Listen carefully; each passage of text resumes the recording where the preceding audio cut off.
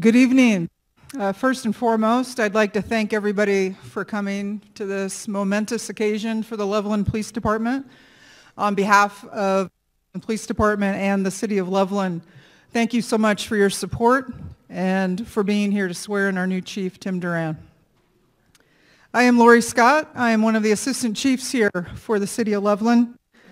And I would uh, first of all uh, like to introduce Bethany Panella, who is going to be singing our national anthem, and during which I'm going to ask everybody to stand for the posting of the colors. You will stand through the posting of the colors and through the invocation, and then I'll tell you guys you can take a seat.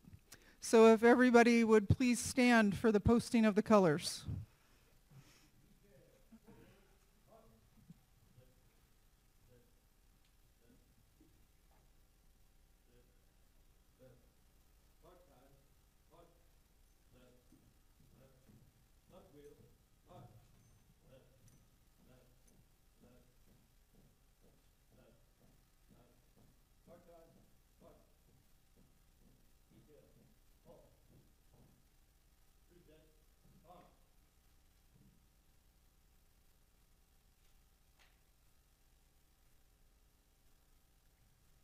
Oh, say, can you see? By the dawn's early light what so proudly we at the twilight's last gleaming, whose broad stripes and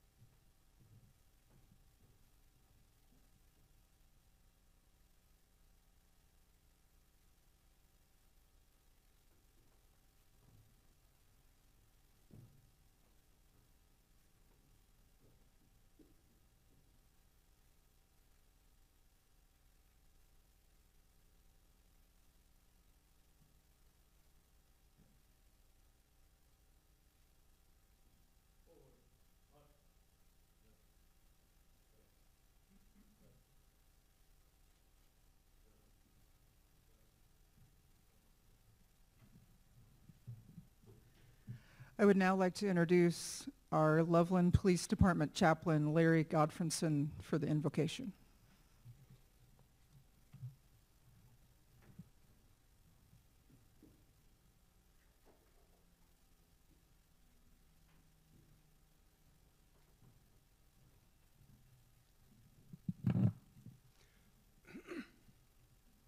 We pray. Our good and gracious God, your power and wisdom established governments so people might live ordered and peaceful lives with liberty and justice for all and the assurance of life, liberty, and the pursuit of happiness. So we pray for Timothy Doran as he becomes the chief police, Loveland, Colorado Police Department. His education and experience have well prepared him for this position.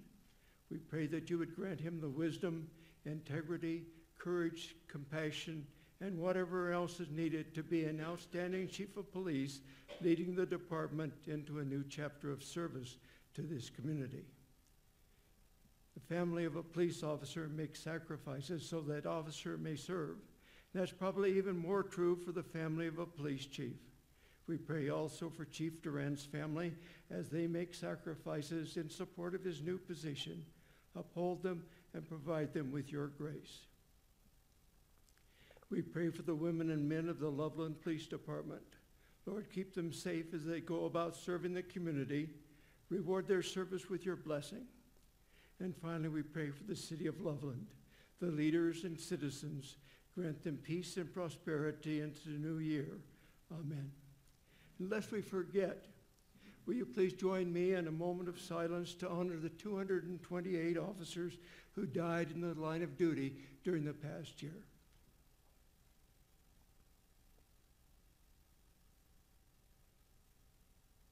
Thank you.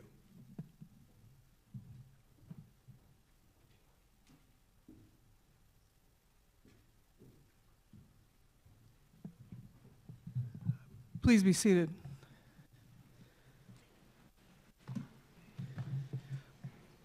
Thank you, Chaplain, for a wonderful prayer. And if you all don't mind, I would really love to give a big round of applause for our Loveland Police High School senior Bethany Pinella for that wonderful national anthem.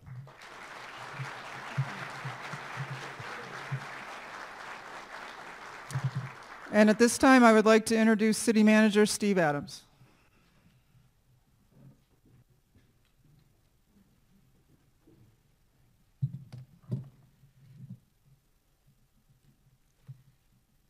Hello, everybody. Uh, a lot of attendance today. I, I appreciate everybody coming and taking the time today to be here. I would uh, like to thank you first for coming. This is a monumental event for our community and city and our police department. Uh, I would like to first start out by introducing some of the dignitaries and visitors we have today from elected officials and other leaders who have also agreed to join us today. Uh, in the first row here on the left side is our city council. And I will just read all of the names of the city council, but here and some were not able to attend. Our mayor, Jackie Marsh, Mayor Pro Tem uh, Don Overcash, uh, councilors Patrick McFall, Rich Ball, Dana Foley, Andrea Sampson, John Fogle, Steve Olson, and John Malo. Next, we had the Larimer County uh, Commissioners, and we had Kristen Stevens, I saw there, and also we had uh, also uh, Jody Shadduck-McNally, who is scheduled to attend today. We had the district attorney here today, which we appreciate Gordon McLaughlin and his staff. Thank you. Also, the Police Citizen Advisory Board Chair, Pat Kistler, and his team uh, of members of that uh, Loveland Police Citizen Advisory Board. We also had, uh, it's my honor here to recognize others that have come from neighboring areas.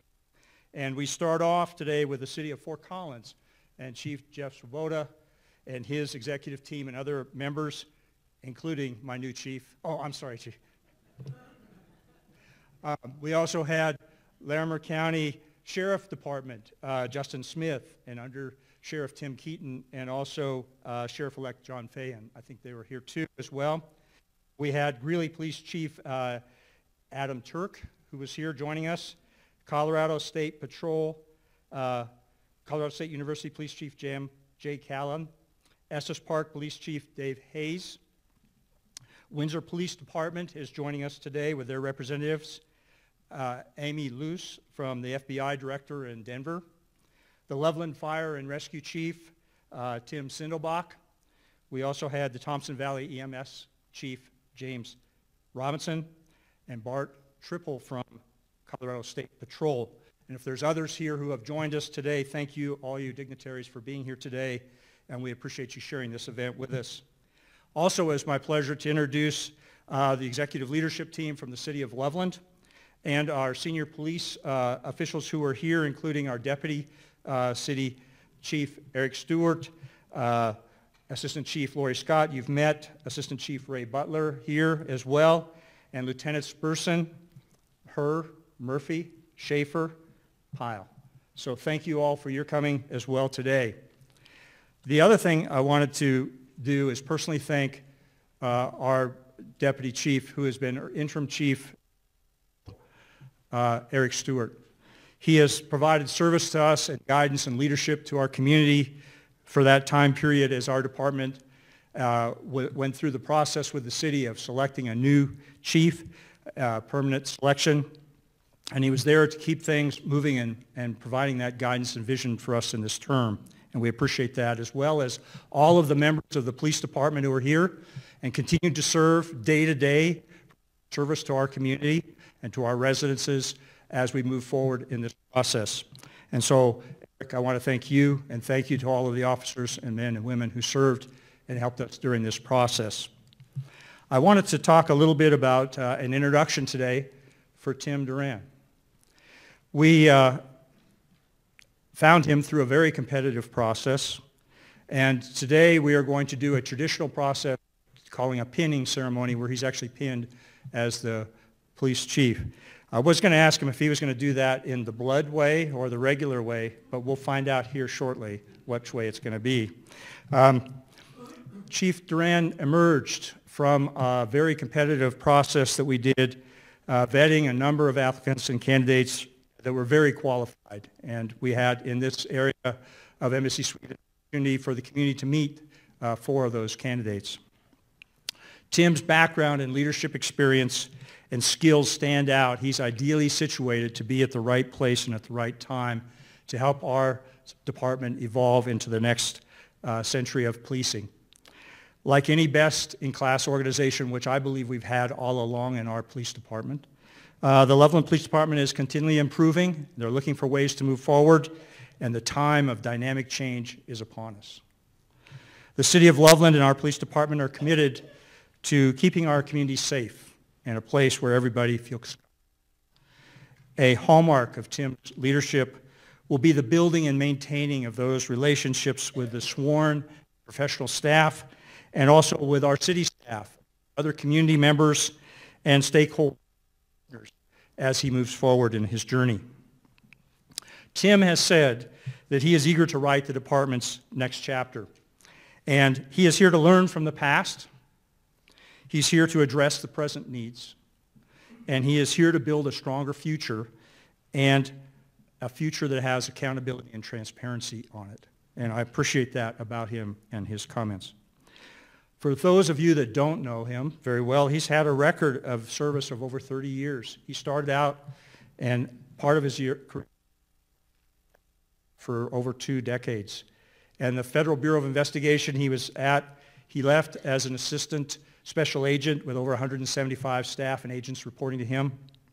He also served in the White House as a national and also with the Washington, D.C. Task Force on Violent Crime and Joint Terrorism. In all of those things, he then came and served with the City of leadership position as their assistant chief in the City of Fort Collins Police Department. So Tim, we are all very much welcoming you to be here in our community at this time, with our city, uh, with our council, and with our staff, and being selected for this very critical issue at this time. So at this time, uh, I would like to ask Tim and his wife Susan to come up here and to do the pinning ceremony, uh, which will be right up here. So please, both of you, come on up.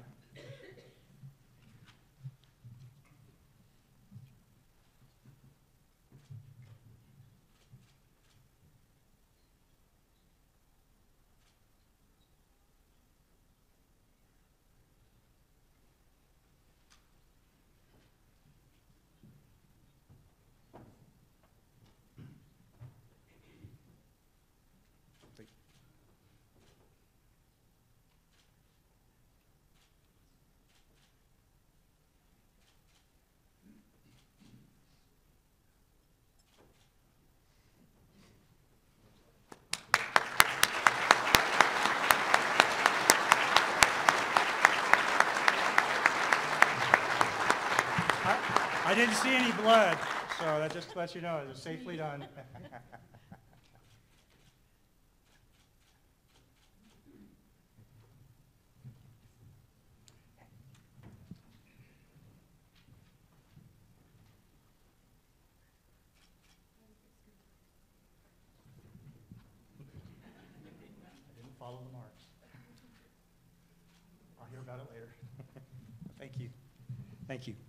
Um, At this time, I would like to call onto the stage uh, Judge Jerry Johnson uh, to help administer the oath of office.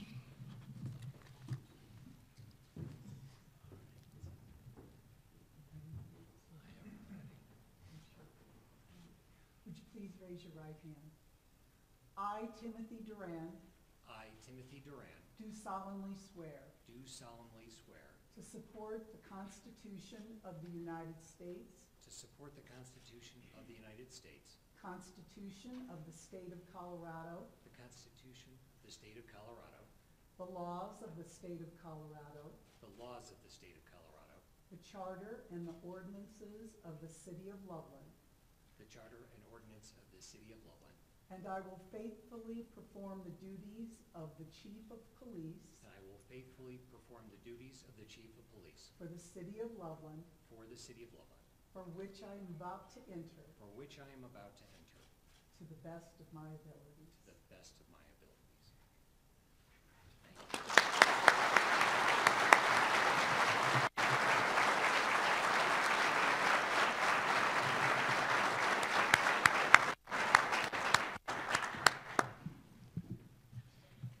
So uh, at this time, it's my pleasure and honor to present to you the Chief of Police for the City of Loveland, Tim Doran.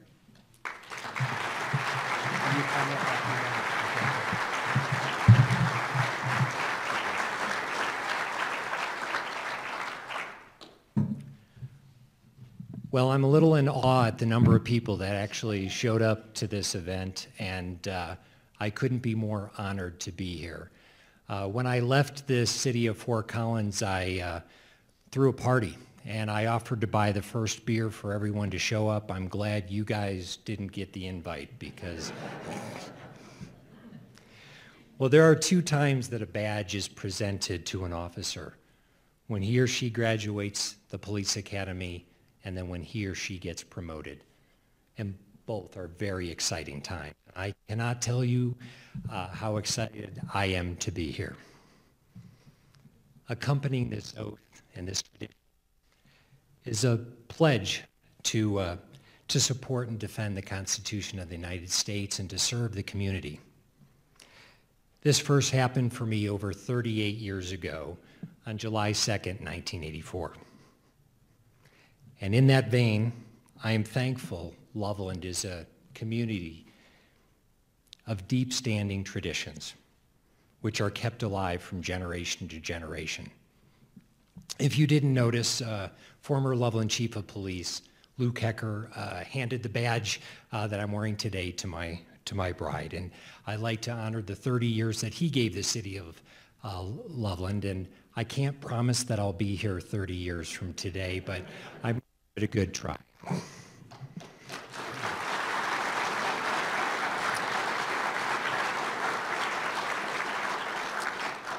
So a badging ceremony is also a way to honor those who serve. So specifically, I'd like to thank the men and women at the Dispatch Center who literally answer the call every day. And they attempt to bring help and comfort to those citizens who are often experiencing their worst day. I'd like to thank the patrol officers who never know what surprise awaits them around every dark corner. I'd like to thank the detectives who have an unrelenting caseload and they never stop seeking truth. I'd like to thank the entire professional staff team who processes reports, collects evidence, and keep everything running so smoothly.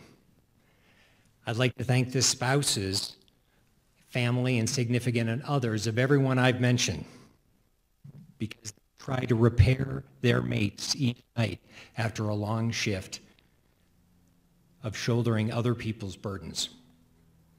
and then to get them out the door the next day to do it all over again. And I'd like to thank the community for trusting us to arrive in their time of need. I have a confession that I love. So if there are any teachers in the room or watching online, I'm fearfully recorded, you can inwardly cheer with the remembrance that the buck stops here. This was a phrase coined by Harry S. Truman, and he had it on his desk in the Oval Office. The phrase refers to the notion that the president has the ultimate responsibility for all of his or her decisions. And I fully accept, as your new chief of police, the buck stops with me. I have no fear the Loveland Police Department will serve you honorably. We will make mistakes. And when we do, we will hold ourselves to a higher standard. And we will continue to learn and get better each day. Simply stated, our North Star is excellence, not error avoidance. As a fellow Larimer County resident, I am no stranger to the challenges LPD has experienced in recent years. However, because I'm coming from an outside police department, I do not have yet a full, nuanced grasp of what needs to change. But I assure you, change is coming. I would ask for your grace and patience as I take time to determine exactly what that will be. And before I can initiate any meaningful action, first I need to listen. Loveland, I will be seeking your input, and I truly look forward to your ideas. I so appreciate the thoughts and ideas that have already started flowing in from both within the department and the citizens of Loveland. In the interim, allow me to reaffirm LPD's commitment to the highest level of professionalism and community policing. You can depend that we will serve you with respect, transparency, and accountability. I know I have yet to gain your trust, which is only built through consistent action and open communication. I hope to prove over time the Loveland Police Department, your team, is one you can be proud of. Before I finish, there are several groups here today for which I'd like to recognize. Let's start with our color guard. If you hadn't noticed, they are comprised of both members of Loveland Police Department and Fort Collins Police Services.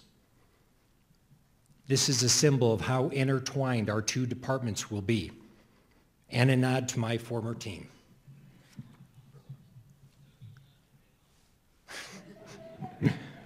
And my former team did their best to teach me and illustrate excellence in policing. I'd like to thank Miss Bethany Pinella for her beautiful rendition of our national anthem. If I only had her talent. I'd like to thank the members of the community and Loveland City leadership for their attendance today and their support in the many years to come. There are so many coworkers and mentors I could individually thank. But out of concern I'd leave someone out, allow me to simply bookend this list by mentioning two. I'd like to thank my former field training officer, retired First Sergeant Larry Hahn,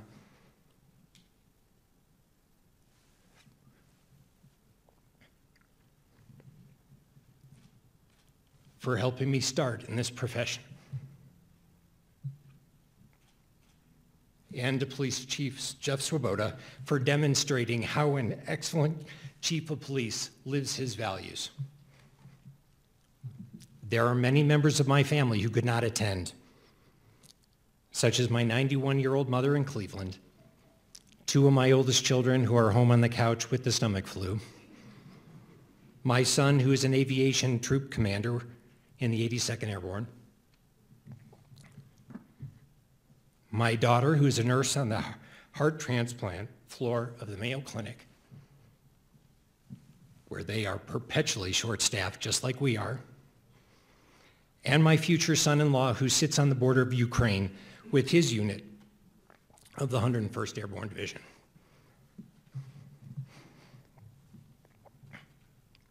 I pray all of our service members return home safe- safely. And of course, my wife. I'll end with this. One of my mentors wisely stated that all he expected of me was this, to seek justice, to love kindness, and to walk humbly. That is exactly what I expect of our department. I'll now turn the podium back over to City Manager Steve Adams. Thank you again for coming.